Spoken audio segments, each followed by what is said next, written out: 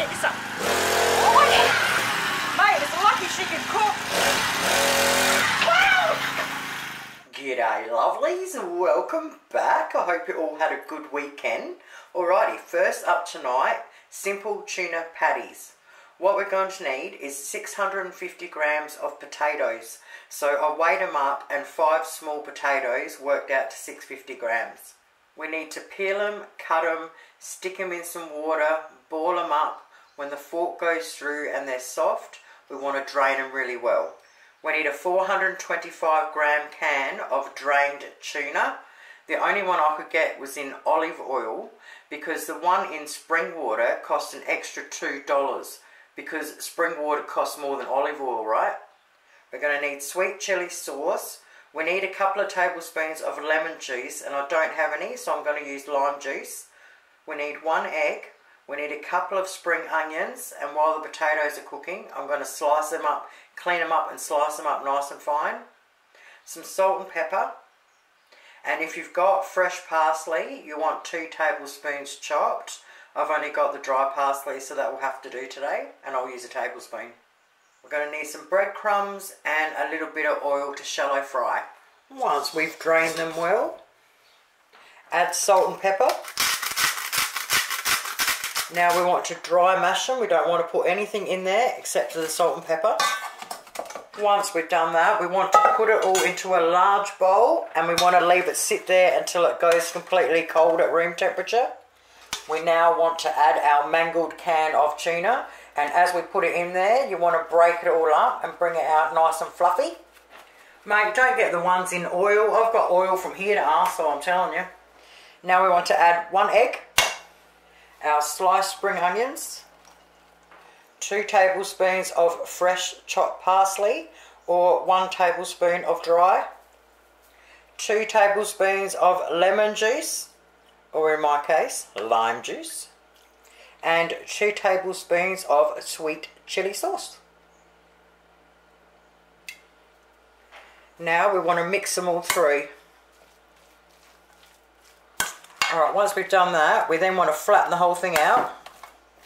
Once we've done that, we want to make eight patties up. So I'm just going to mark, yeah, my terrible halves.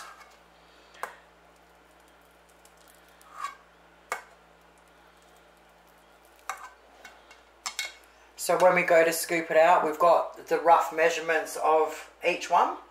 Now you can roll them in your breadcrumbs like that, but I like to cover it up and stick it in the fridge for half an hour. It just stiffens it up a little bit and makes it a bit easier, but you don't have to. You can roll them straight away.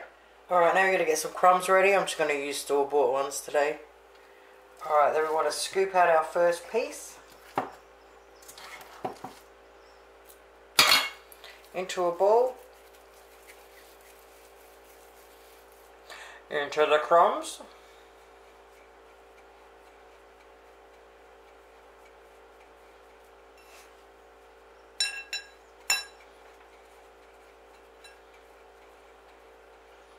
Onto a plate and keep on going.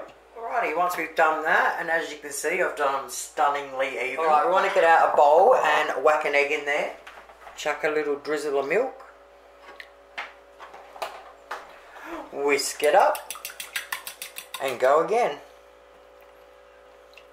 I think crumbing them twice makes like the crumbs nice and thick and beautiful and I reckon crumbing them like that the first time and then doing it makes it a lot easier as well to handle. This time I'm going to flatten them down to patties, fat patties. And keep on going. Alrighty, now we've got our eight awesome patties ready to go. We can either fry them up straight away or you can glad wrap the top of them and chuck them in the fridge and fry them up as you need them. Alright, so we want a little over a medium heat and to shallow fry means you want to cover the bottom of whatever frying pan you're using in oil. Now I'm using um, olive oil, but that's just because what I've got. Just use anything you've got. And if you don't have any oil at all, I would just use butter and maybe crank it up just a little bit higher. So basically we want to cook them, once that heats up, we want to cook them for roughly five minutes on either side. We just want them that beautiful dark gorgeous brown colour and heated through, that's all we need. And I'll put them on paper towel before I put them on the plates to serve them up. Oh my god, mate. Best simple tuna patties ever.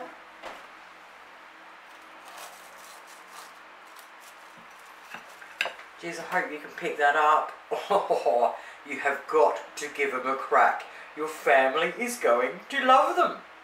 Thank you guys so much for watching. I'll see you soon. Toodles.